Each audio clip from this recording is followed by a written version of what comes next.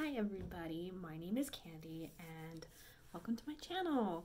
Uh, today marks the halfway point of my month-long Holter monitor.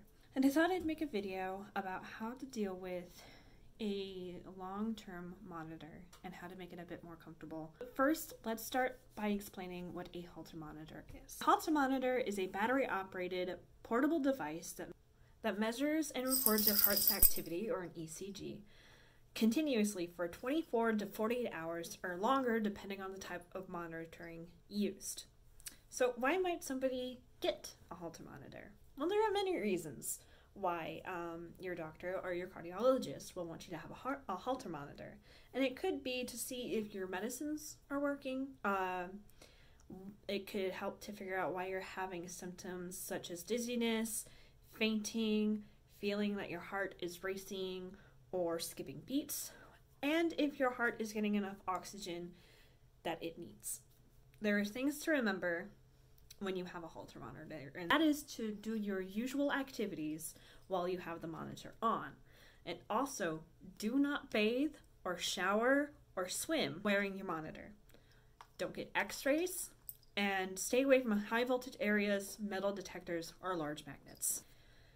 This is my second Holter monitor. The first one was 48 hours and had a very different way it was set up and how I recorded events. Depending on how long your monitoring is for, you could have two to five electrodes or more.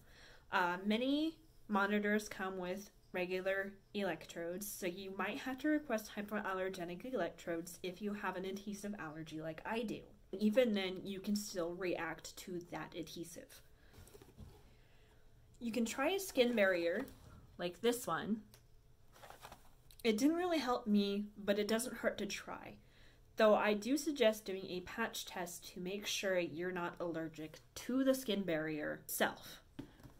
This is the box I got when I got my monitor placed. It is the BioTel MCT3L. It came with the monitor itself, which just looks like a smartphone. The sensor which is actually pretty small. a bag to send it back to the company, either via USPS or UPS, with the postage already bought. It also came with a quick smart guide, which will have all of the information you need along with diagrams for where to put your electrodes or changing the battery in your sensor. It also comes with all the batteries you will need for how long your monitor is. It is very important to remember that you use the batteries that it came with. You cannot use other batteries. And I'm going to change my battery now because the battery needs to be changed and my monitor's been yelling at me all throughout my therapy session. So I just start by unclipping and I will show you how I do this later. So basically how you change your battery if you have this monitor is you push the orange button it flops up. You take out the battery. You get a new battery which was supplied to you.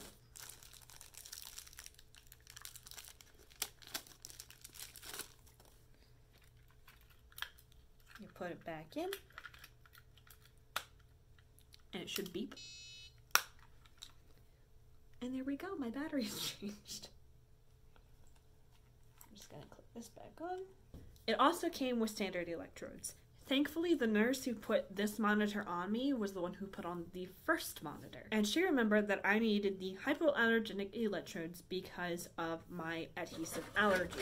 So she took a lot and gave them to me. And now I'm going to take off my electrodes. Here are some tips that I have, which is rubbing alcohol.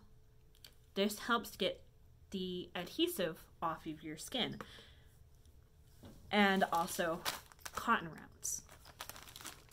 So what I do when I take off my adhesive, was I when I take off my when I take off my electrodes, is I unclip my sensor.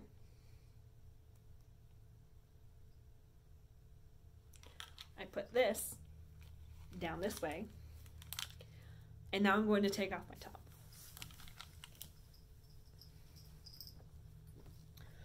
So A lot of my electrodes right now also have Tegaderm or cheap Tegaderm on them because they like to pop off before my electrode change. That's another tip to do is to get either Tegaderm or cheap Tegaderm. What it is called, I think, is clear waterproof bandages. It really helps because then you're not going through a lot of electrodes. So, all I do, no matter what I do, is this is going to be painful, but a lot of people recommend doing it in the shower um, because the water helps to loosen the adhesive and make it less painful. But really, all you do is you just take them off. A lot of them have already started to come off, so that's not an issue. I have one up here and then three down here, so I have four electrodes.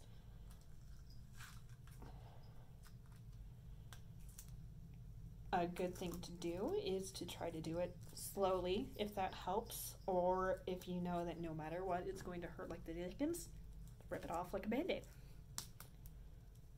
So, all I do when I take them off is I stick them together. Uh, it helps it to be compact in the trash. And you don't have to throw these away in any special bin or anything. They're you just throw them away in your regular trash. Now that I have my electrodes off, it will take my monitor a second to realize this, and it will beep. And it will beep every so often to tell you that it is not registering your electrodes being on. So here's my entire sensor. I just have four leads. And now that that is off, I take a cotton round. This is a pump style rubbing alcohol. This is only 70%. I didn't want it to be too high. And all you do is pump it to get the rubbing alcohol on. And then wherever your electrodes were is where you clean. Now, I've used rubbing alcohol to get adhesive off myself, off of windows, off of glass, off of a lot of things. It is really good. And then also, it cleans your skin. So whenever I do this, my cotton round's always dirty because that part of my skin hasn't been cleaned in a while. So, yep, just clean that off.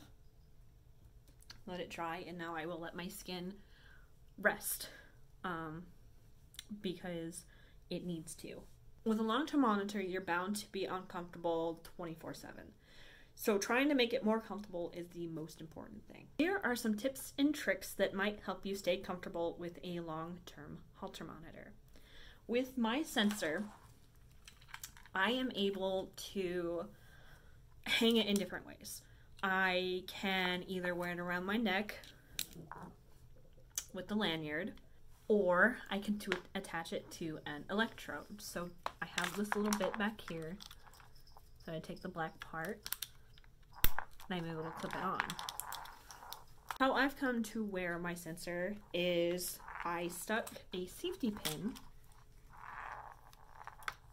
on these little these little things and then I just clip it to my clothes. I used to have a lanyard tied around my bra strap to keep it out of the way, but it started to irritate my skin, so I started just letting it hang loose. Now, speaking of bras, if you do wear one, make sure to wear your most comfortable bra. Right now, I am wearing my oldest, rattiest sports bra, which I'm really glad I did not throw away. Another tip is to get some comfy pajamas, preferably ones that either zip up or button up, just in case you need quick access. Also, I would highly recommend wearing a tank top under all of your clothes. It helps keep the wires from showing through your clothes, but also helps keep them in place. If you have an adhesive allergy like I do, try taking allergy meds every day. It'll help combat the symptoms you might have that come along with a continuous allergic reaction. Also, try some allergy relief or itch relief cream to apply after you take your electrodes off. I have this has helped my skin a lot uh, in making it not red, raw, and itchy. Also, let your skin breathe after taking off your electrodes. Also, let your skin breathe before putting your electrodes back on. Always remember to never put the electrode back on irritated skin. So long as it goes on the same area as it was before, you'll be fine. Going back to not being able to take showers or baths with your sensor on, sponge baths are wonderful. It's just important to not get your electrodes or sensor wet.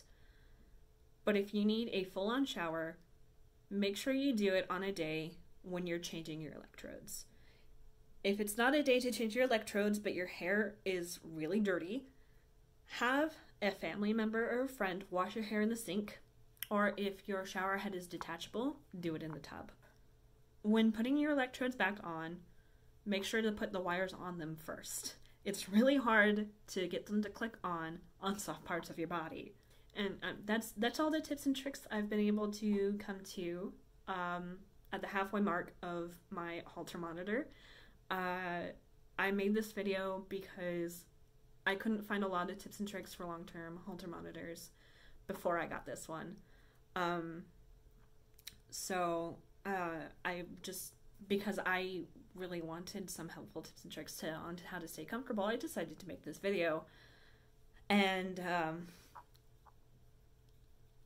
I'm sorry I've been really awkward through it. Um, but hey, you know, um, I, I just hope that this helped someone um, in getting to try to find ways to be comfortable, especially if you have an adhesive allergy like I do. So that's all for now. Um, and I will see you in my next one.